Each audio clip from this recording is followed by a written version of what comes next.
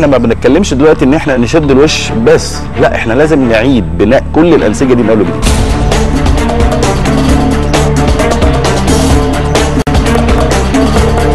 من يمسك مشرط جراحة التجميل وهو ليس جراحة تجميل ده كارثة موقوتة على الجميع.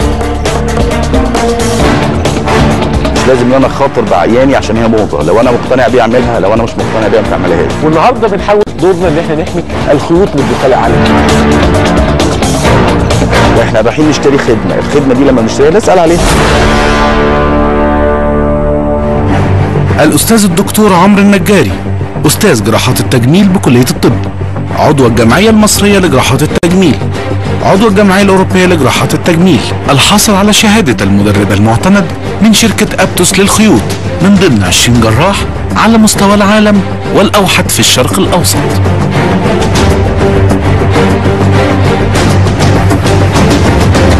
أهلا بكم بلا شك عالم التجميل عالم مثير للغاية من أكثر من جهه اولا هو العالم البر- البراق عالم الاتراكشن عالم حتى لما بيعملوا آه، أفلام سينمائية أو مسلسلات جراح التجميل له جانب درامي كبير جدا.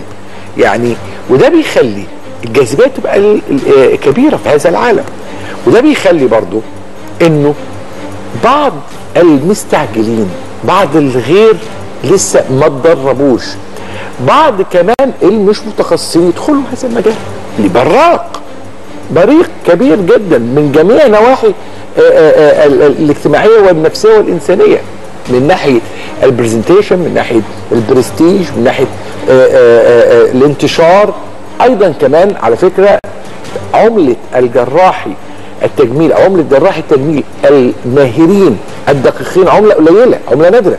مش في مصر بس لا في الوطن العربي كله وفي العالم في العالم بدليل إنه جراح التجميل تلاقيهم براندات أسماء في كل حاجة. الخيوط ليها brand ات دلوقتي مش بس brand الخيط لا ده brand مين اللي بيشتغل الخيط؟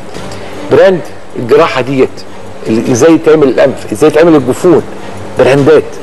هنا لازم نقف إزاي نفرق بين ال brand الحقيقي وبين الخطأ؟ وبين الأخطاء وبين الدخلاء وبين بعض من يمتلك رؤوس أموال ويتهيأ لهم إنهم ممكن يقتحموا عالم الطب وللأسف يقتحمون كلهم من عالم أو من جهة التجميل. تعالوا النهارده في حوار مثير للغاية نطرح هذه الأفكار وغيرها على آه، ضيف العزيز. الحقيقة ضيف العزيز قيمه علمية كبيرة واسم كبير في عالم جراحه التجميل والحقيقة يعني أنا في رأيي إنه آه، حمل على عاتقه الكثير جدا من آه، المصاعب والكفاح في نقاط معينة في تقنيات معينة في presentation معين ل- آه، في عالم التجميل والفترة طويلة الحمد لله بدأنا نبني ثمار هذا الصبر وهذه الجهد الج- وهذا الجهد الكبير في عالم التجميل اللي كان صعب جدا. القيمه العلمية الكبيرة والسوبر ستار في هذا المجال هو ضيف العزيز الأستاذ الدكتور عمرو النجاري أهلا بيك دكتور أيمن ازي حضرتك الله يخليك وحشني. جدا الله. يخليك حبيبي قبل ما أبدأ طبعا يعني وإحنا الحمد لله في مرحلة جني الثمار جني ثمار الخيوط جني ثمار التفوق فيها جني ثمار نتائج رائعة جدا في هذا المجال جني ثمار كثيرة جدا وبدأت يبقى في براندات تتحط مرتبطة طبعا باسمك أنت تعبت كتير في هذا. المجال وما شاء الله يعني آه، آه، النهارده بنفتخر بإن إحنا نجحنا في زمن آه، مش مش طويل لكن بيعتبر طويل نسبيا سنة أدخلت الخيوط فيها آه، آه، مصر وما شاء الله دلوقتي تلامذتك بقوا كتير. الحمد لله يا دكتور إيمن إحنا ال ال الخيوط أنت أنا قلت لك أنا شغال خيوط من سنة 2000 تقريبا لكن كان كل شغل هادي جدا كانت يعني الدنيا لسه مش مفتوحة قوي ما كانش المجال لسه الناس عندها اوير بالموضوع خيوط. لكن فعلا من حوالي 3 4 سنين ابتدت الدنيا تقوم وابتدينا فعلا نشوف دلوقتي ثمار آه، النجاح. الحمد لله اللي عملناه في مجال الخيوط. الحمد لله. الحمد لله. ال- الحوار سيكون متنوع اليوم. هيبقى في أكتر من نقطة لكن خلينا نبدأ بالأبيض والأسود. والرابع أبيض أسود أم رمادي؟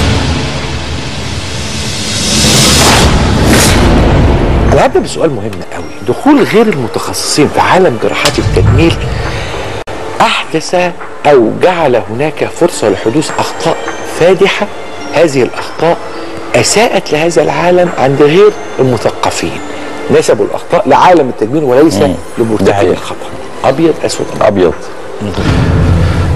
آه، من الحاجات المزعجة جدا إن أنت تبقى بتتكلم في أي مكان في أي في العيادة في النادي آه، في غدا في عشاء في أي كوميونتي في أي تجمع تلاقي ناس بتهاجم بطريقة غريبة جدا. والهجوم هنا للأسف في شقين. شق إن هي في حد جرب بطريقة غلط وابتدى ينقل الخبرة دي بطريقة سلبية جدا. وإحنا عندنا في الطب في حاجة ما أعرفش أنت أكيد عارفها دكتور أيمن الناس بس تعرفها إن دايما ال ال ال العيانة اللي بيحصل فيها مشكلة بتبقى زي النار في الهشيم كده. تلاقي الناس كلها عرفت والناس كلها سمعت والناس كلها ابتدت تتخوف ونقنع الناس إن ده عيب شخصي وليس عيب التقنية أو عيب التكنولوجي أو عيب العلم آه، صعب. آه، وده زي ما حضرتك قلت ده بسبب إن في ناس كتير قوي دخلاء عن التجميل ابتدوا يخشوا وابتدوا يجيبوا أطباء لسه صغيرين ما عندهمش خبرة. بس هم بيغروهم ماديا بيغروهم معنويا بيغروهم اعلاميا زي ما حضرتك عارف. فبيبقى ال- الشاب من دول آه، فرحان. مش مقدر قيمة المسؤولية ومش مقدر إن هو أول واحد هيروح غلط في سكة غلط هم مش هيجرى لهم حاجة. ودي من الأهم من أحد الحاجات اللي إحنا لازم ننصح الناس ليها. أنت أي مكان تروحيه عشان تاخدي خدمة طبية لازم تثقي في المكان. لازم تعرفي مين ال- الاستشاري أو الكونسلتنت أو الجهة اللي بتمول المكان ده أو هي المسؤولة بحيث إن أنت ما ترميش نفسك لأي حد. وللأسف ده بيحصل كتير قوي إيه، السؤال دوت الحقيقة أنا يعني مستغربه بس هساله لك زي ما أنا فكرت فيه. الجفون هي من أكثر المناطق حساسية ومع ذلك تسلل أو تجرأ عليها غير المتخصصين. هل ده أبيض ولا أسود ولا رمادي؟ آه هو لهوي. فعلا دي حقيقة. هو اولا هي جراحة الجفون جراحة دقيقة جدا. عملية سهلة قوي بس صعبة جدا في نفس الوقت. سهولتها التك... التكنيك بتاعها ممكن أي حد يشوفه ممكن يعرفه أو ممكن يعمله. صعوبتها في إن أنا إزاي أكون ميزان. أنت ربنا خالق يا دكتور أيمن حوالين العين مخدات دهنية. المخدات الدهنية دي في غشاء عضلي رفيع قوي هو اللي حاجزها. لما يبتدي الغشاء العضلي ده يضعف بيبتدي الدهون دي تزقه مش معنى إن الدهون أو ال eye bags دي ابتدت تظهر إن أنا أخش أشيل ال eye bags دي. لو أنا دخلت شلت ال eye bags دي هتبقى sunken eyes يعني إيه sunken eyes هتبقى العين غائرة. زي اللي عندهم جفاف. غائرة. بالظبط. غائرة يعني داخله لجوه داخله لجوه هي الفكرة كلها مش إن أنا إزاي أشيل الدهون أو إزاي أشيل كمية الدهون. آه إزاي إن أنا بحرفية إن أنا أشيل الزيادات بالميزان. مش بالميزان رسمي بالميزان السنسي للجراح. وإزاي أقوي الغشاء العضلي ده تاني. عارف حضرتك انت عارف يا دكتور ايمن لما نعمل شد البطن؟ نفس الحكاية إن إحنا العضلة لما بترتخي أو بت بت بت بت بتبعد عن بعضيها في البطن بت بتزق كل ما هو داخل تجويف البطن لبره. فإحنا مش بس إن إحنا نشيل تجويف البطن لا إحنا بس بنقرب العضلات من بعضيها بطريقة فنية معينة. الخطورة الأكتر من كده إن أنا أشيل الجلد قد إيه؟ ميزان الجلد ميزان الجلد ده إن إحنا إزاي أشيل جلد من الجفن العلوي أو السفلي بحيث إن أنا لا أغير شكل العين وهي مفتوحة؟ لا اغير قفلة العين. في ناس بتشيل excess skin فالعين ما يقدرش يفتح عينه بيبقى فيه اكسبوجر للعين ويجي له بقى تقرحات له مشاكل. الجفن السفلي كذلك. إن أنا لو شلت كتير ممكن يحصل الالكتروبين أو انقلاب الجفن أو آه، ويحصل وده ما يتعالجش إلا بالجراحة بعد كده. هي الفكرة كلها إن سهولة أو إن في ناس ابتدت بنقول عليهم إحنا عندنا في الطب الصنايعي الصناعيه دول اللي هو بيساعد حد بيشوفه بره واحدة هوب يبقى يروح هو يفتح يده وبيعمل هو ما درسش ما ذاكرش. ما تعبش ما سافرش ما راحش ما جاش عشان يبقى يوصل بال بال بال بالحرفية إن هو يقدر يبقى الميزان الجراح الديسيجن إن هو بياخد القرار إمتى يشيل وإمتى ما يشيلش. بعض الناس تروج لحلول أخرى في التعامل مع الجفون غير الجراحة ويرون أنه يمكن الحصول على نتائج من هذه الحلول مثل كريمات مثل آه مش عارف إيه أجهزة ده كله ماشي اليومين دول في السوق التجارية. الكلام ده أبيض ولا أسود ولا هو أسود. آه. ليه بقى؟ إحنا لازم في أي مشكلة لازم نعمل لها اناليسيس تحليل. إحنا دلوقتي عندنا الهيكل بتاع الجفن ده فيه آه، آه، جلد في دهون في عضلات. كل واحدة من دول مشكلة وكل واحدة من دول ليها حل. إمتى نستغل الجلد فقط إمتى نعمل علاج للجلد فقط إمتى نعمل علاج للجلد وللعضلات إمتى نعمل الجلد والعضلات والدهون. ما ينفعش just يعني هو ال ال في ناس دلوقتي بره بتعمل حاجة جميلة جدا. آه التقدم بقى في ال technology بتاع جراحات الجفون. بدل ما يفتح فتحة كبيرة بيبتدي يعمل snip صغيرة فتحة صغيرة ويبتدي يعمل زي milking يسحب الدهون الزيادة وبعد كده ما يلعبش خالص ولا يعمل جروح ولا حاجة وبعد كده بيعمل جلسات حاجة اسمها ليزر معين كده عشان يعمل نوع من أنواع شد الجلد أو ال skin tightening بس دي ما بتنفعش في كل الحالات. يعني إمتى نجربها زي ما تلاقي بيبقى في ناس عندها وراثيا ال eye bags دي وهي بنت صغيرة لسه جلدها كويس. دي اللي ممكن نجرب فيها الحلول دي. أنا عايز أقول لك في حاجات بقى جديدة في شد الجفون. إحنا بنعمل شد الجفون دلوقتي أو أو عمليات بديلة لشد الجفون بالخيوط الجراحية. هي الفكرة في إيه؟ الفكرة إن إحنا عايزين نداري الجيوب الدهنية وفي نفس الوقت عايزين نعمل نرجع ال ال ال في طبقات من ال ال الدهون الموجودة في الخد بتبقى سقطت شوية مع تقدم العمر. عايزين عايزين نرجعها مكانها تاني. وإزاي نملى الفراغ أو ال hollowness ده اللي موجود حوالين العين ونداري بيه ال eye bags كل ده بنعمله بالخيوط الجراحية. هل الكلام ده نقدر نعممه؟ لا ما نقدرش نعممه، ليه؟ لأن إحنا بنحط قواعد لاختيار طريقة العلاج. انت حضرتك تنفعك دي هنعملها لك ما تنفعش دي مش ينفعش نعملها لك، مش معنى كده إن في ظهرت technology جديدة أو طرق techniques جديدة إن إحنا نثبتها ونعممها، لا الطب ما فيهوش تثبيت وعمل، الطب ده عامل زي الحساب يا دكتور ايمن. واحد زائد واحد يساوي اثنين، نفع هنا لا، نفع هنا آه. هناك طرق دخلت في عمليات تجميل الأنف أو بمعنى صح في تجميل الأنف غ- آه، أساليب غير جراحية. هذه بدأت آه، آه، تقترب من عقول الكثيرين وبدأت تنفذ للكثيرين على العديد من رغباتهم أبيض أسود أمر هي أبيض إن هي ابتدت فعلا كل الناس تسأل عليها. بس هي المشكلة إن برضو هرجع أقول لك تاني. ال primary lesions أو ال defects أو ال deformities أو العيوب اللي موجودة في الأنف الأولية اللي هي لسه ما عملش عمليات إحنا بنقيمها الأول. لو لقينا ال defects أو ال deformities دي كتير وكبيرة يبقى لازم نلجأ للجراحة. ساعات بيبقى في عيوب طفيفة. اللي هي لو اتعملت جراحة يعني خلي بالك بقى من الحتة دي الناس لازم تبقى. ساعات ناس بتبقى عندها عيوب في الأنف بسيطة جدا اللي هي لو اتعملت عملية ممكن ما تتحسنش أو تتحسن بعد ست شهور. فالمريض بيطلع من العملية مش satisfied ويفضل يستنى فترة. هنا بنقول له لا أنت هنا ممكن نعمل لك الحلول الغير جراحية أو الحلول ال minimal invasive الحلول دي كذا حاجة. ممكن حقن بوتوكس ممكن حقن fillers ممكن الخيوط. وده الجديد بقى اللي الناس ما أعرفش هم عارفين ولا لا. إحنا إحنا إزاي نصلح العيوب؟ الأنف بالخيوط في جميع أنواع ال deformities أو في جميع أنواع التشوهات الموجودة في شكل الأنف. هو على فكرة الخيوط في الأنف آه، إحنا اتكلمنا عنها بالظبط. ونوهنا عنها بس مش من زمان وما اتكلمناش كتير عنها. ممكن تعمل إيه في الأنف؟ ممكن ترفع الأنف. في في ناس كتير قوي بتبقى عايزة بس جاست ترفع. لا ده في حاجة كمان عايز أقولها لك. معظم الناس اللي بتعمل عمليات الأنف بدون خبرة بيحصل سقوط الأنف بعديها. ده ده أشهر الحاجات اللي بتحصل. وده خطأ جراحي وفي جراح ما بيبقاش عارف هو عمل إيه وإيه السبب. طيب هنقول له طب خلاص ماشي استنى بقى أنت شوية. إحنا تعالى بقى إحنا بنعمل ده ببنج موضعي في العيادة. نعمل some sort of lifting لل tip ببنج موضعي في العيادة. طيب إيه تاني؟ إحنا ممكن نضيق ال nostrils الفتحات الأنف ممكن نضيقها عن طريق استخدام الخيوط. ممكن نعمل definition لل tip أو نعم- نخلي مقدمة الأنف more defined بدل ال boxy tip أو ال t- ال tip العريضة عن طريق إن إحنا استخدام الخيوط. في حاجات كتير قوي. طبعا إلا لو كان في مشكلة في العظم. مشكلة العظم دي على جميع المستويات إحنا بنلجأ في الجراحة فيها دي أهم حاجة. عايز أروح للفيلر في الأنف. الفيلر والأنف عالم بدأ يغزو أو بدأ يتواجد بشكل آه، كبير ولكن يعيبه تكاليفه الكبيرة.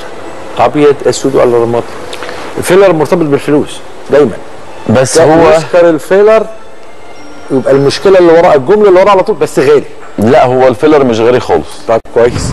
وبالذات إن في حاجة عايز أضيفها بس معلومة الفيلر في تصليح الأنف أنا ما باخدش كميات كبيرة. الناس برضو لازم تبقى فاهمة والجراحين يبقوا فاهمين أو ال- الناس الجراحين اللي هم بي أو الدكاترة اللي هم بيشتغلوا في المجال ده.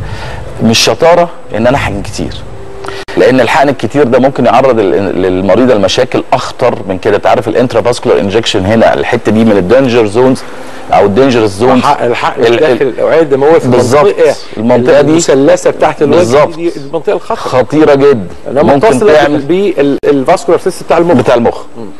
زائد إن هي ممكن تعمل انسداد في الأوعية الدموية في الشرايين دي وممكن تعمل مشاكل كبيرة جدا يصعب حلها. فلازم نحقن بحساب وبمقدار بسيط. فعشان كده على فكرة حقن الأنف بالفيلر مش غالي. ان هي حقنة الأنف في الفيلر حقنة الأنف حقنة الفيلر مش غالية. أو بنعتبر أو لو إحنا هنقيسها بالجراحة لأ في فرق شاسع.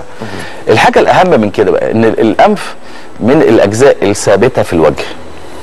الاجهزه الأجزاء الثابتة في الوجه ده في الفيلر إيه ميزتها إن الفيلر بيعيش فيها أكتر. يعني الفيلر اللي بيقعد في الوش تسع شهور ممكن يقعد في الأنف سنة ونص. زائد إن في technologies دلوقتي في تصنيع الفيلر المتخصصة في حقن الأنف ممكن تقعد up to سنتين وثلاث سنين. الموضوع هنا إن أنا بختار الفيلر المناسب والأهم منه المقادير. اللي أنا هحقنها حتى لو أنا زي عملية هقول لحضرتك أنا هحقنك النهارده 2 مللي بس وهتجيلي بعد أسبوع 10 أيام احقنك 2 مللي تاني ما تتسرعيش ولا انت ولا الدكتور.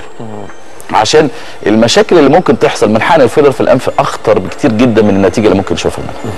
هذا بقى إلى منطقة أخرى في الحوار المتهم والجاني والبريء جاني متهم أم بريء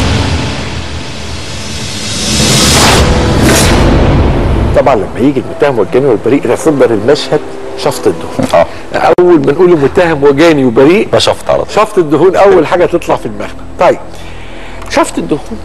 دخل فيه الآن آه، آه، أجهزة حديثة زي اللايبوساوند تمام.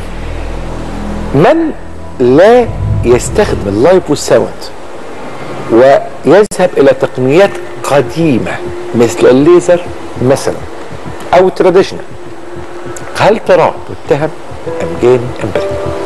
سؤال محرج. وأنت عندك LipoSound أنا شخصيا بقول بمنتهى الأمانة ما ينفعش نبقى في 2016 ويبقى في في لسه ناس بتشفط بال traditional ways باسلوب التقليد الاسلوب التقليدي للشفط مش عشان ال technology غالية أو ال technology صعبة لا هو ال technology دايما آه، أنت عارف أنت عارف الشركات service أي شركة بتقدم service دايما بتحاول توصل بال technology الأعلى عشان ال end user اللي هو المستخدم. أهمية إن أنا أوصل ال- المستخدم أهم حاجة إن هو يبقى واخد service كويس. طرق الشفط العادية بت بتدمر الجسم بت بتبوظ الأنسجة بتعمل كدمات كبيرة جدا.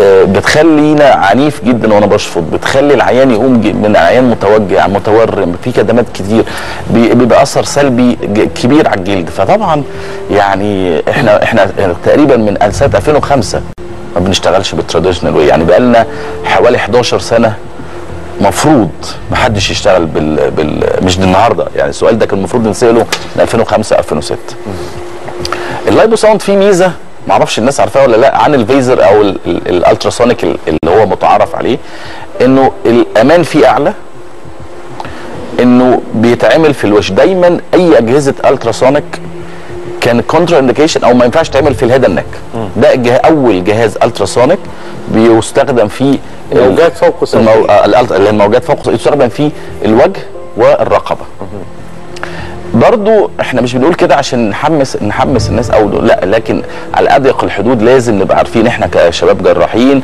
أو آه، مرضى إن أنت لازم تبقي مطمنة إن أنت داخلة تعملي عملية المفروض إنها سهلة المفروض إن الاستشفاء بتاعها سريع فلازم تبقى بالتكنولوجي الجديده السؤال الجاي ده سؤال فني قوي بعد جراحات السمنة المفرطة العين بيخس جدا. آه بيبقى عنده ترهلات مختلفة عن الترهلات بتاعت أي عيان تاني. أكيد. أنا هقول لك من يتجرأ ويتعامل مع ترهلات السمنة المفرطة بالشد بنفس طريقة أو بدون تركيز يعتقد أنه تشابه هذه الترهلات ترهلات الإنسان العادي هذا المتهور متهم ولا جاني ولا بريء؟ متهم. متهم. آه، اولا آه، الناس اللي بتعمل الجراحات السمنة بيبقى عندها ظروف صحية مختلفة شوية عن عننا. دايما بتلاقي عندهم أنيميا دايما بتلاقي عندهم نقص فيتامينز معينة والحاجات اللي هي بتساعد على التئام الجروح.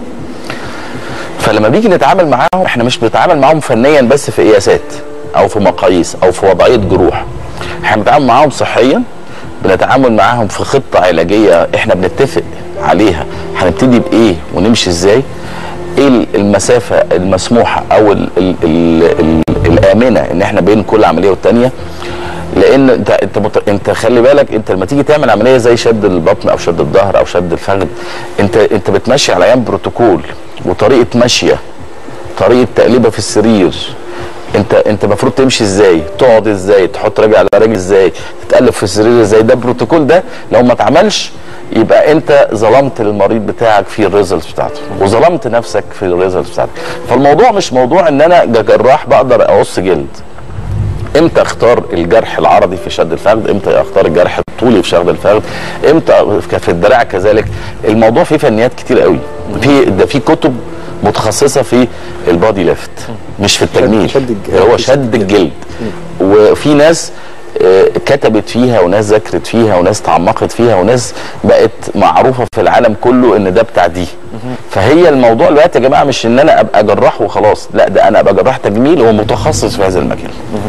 الجلد طبعا قد يخذلك وجلد الناس اللي عندها سمنه بصراحة ليه بيبقى ظروف. ضعيف. طبعا. جلد ضعيف جدا لأن هو قعد فترة طويلة ما بيوصلوش دم كويس. بالظبط. فال vitalization بتاعه نفسه ضعيف. أو صعب. صعب طبعا. بالظبط كده. الطبيب الذي يخبر المريض أن جميع أجهزة تنسيق القوام مثل بعضها البعض. ال- ال LipoSound زيه زي الليزر زي ال VASER. دول لا هو الموضوع مش كده خالص. آه ال technology كل يوم فيها جديد. ال ال ال ال حتى عارف المكنة بتاعت ال vibrator أو ال power assisted فيها technology فيها جديد. آه، دلوقتي في أجهزة بدل ما بتعمل حركة آه، آه، طولية طولية بتعملها دائرية. عشان هي تولد طولية الاثنين عشان تعمل infrasonic waves برضه تحفز الكولاجين عشان الجلد الموضوع فيه technology كل جهاز غير التاني كل جهاز دلوقتي ابتدى يبقى معامل الأمان فيه هو ال technology أكتر. يعني ممكن كذا جهاز يبقوا شغالين بال technology بتاعت ال ultrasound ال ultrasound بس كل جهاز ليه معامل أمان أكتر. في جهاز فيه آه، معامل يعني في الجهاز ال vibrator الجديد بقول لك عليه ده ده لو خبط في أي حاجة مش دهون بيقف. يقف safety كانش موجود قبل كده. زي ما قلت لك ال LipoSound ال LipoSound دلوقتي آمن جدا في استخدامه في ال neck يعني ال technology الجديدة هدفها ال safety مش معنى إن هو ultrasonic إن هو يبقى كل واحد. والأهم من كده اللي الناس لازم تبقى عارفاه إن برضو ال safety في الطبيب. الطبيب اللي هو عارف. إن هو عارف إن المنطقة دي هظبط الجهاز ده على القوة دي وهستخدم الكانيولا اللي طولها ورفعها كذا. هي كانيولات ال ultrasound هي عبارة عن كانيولا مصمطة فيها من قدام probes هي اللي بتطلع ال waves اللي ال- الموجات الموجات. فوق الصوتيه أنا دلوقتي هشفط neck هشفط دراع هشفط بطن هشفط ظهر هشفط فخذ كل منطقة من دي ليها طول كانيولا سمك كانيولا عدد ال probes أو عدد الف... ال... الأماكن اللي بيطلع منها ال rays قوتها درجة حرارتها بتتظبط على كل منطقة غير التانية مش كل عيان غير التانيه عشان الناس فاهمة إن كل عيان غير لا كل منطقة غير التاني ده الأمان اللي بيخلي واحد يستخدم نفس الجهاز يعمل يحرق الجلد واحد يستخدم نفس الجهاز ما يحرقش الجلد. هذهب إلى المنطقة الثالثة في الحوار الوهم والشك واليقين. وهم شك أم يقين؟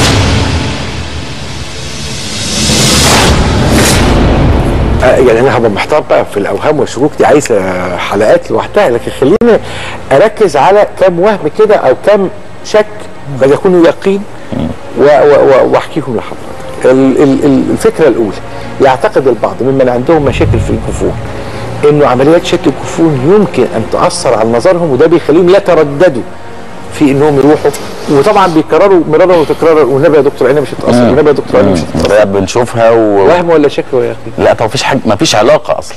ده ده وهم يعني. مفيش علاقة ما بين الجفن والعين.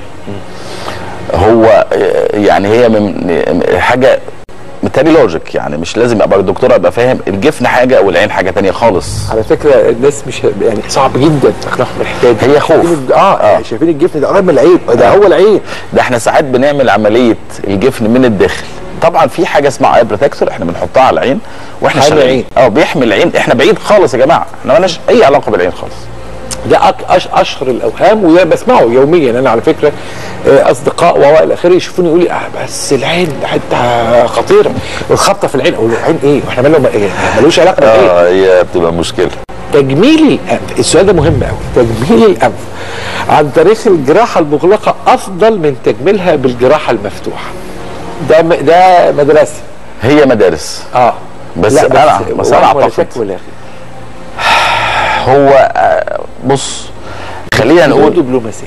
لا خلاص هي مش دبلوماسية هي الفكرة كلها آه، في ناس حطت قوانين في جراحات التجميل.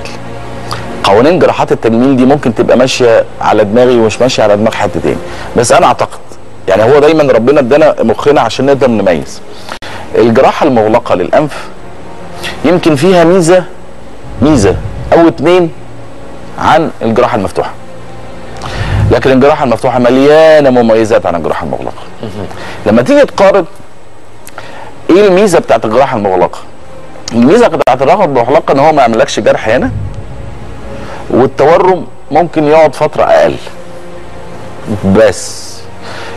لكن ميزات الجراحة المفتوحة إن أنت شايف المناخير كلها قادر تشيل بالسنتي وبالملي قادر تظبط ال angles قادر تظبط ال valves في valves يا جماعة في الدكاترة. في في في. صمامات على فكرة مش صمامات.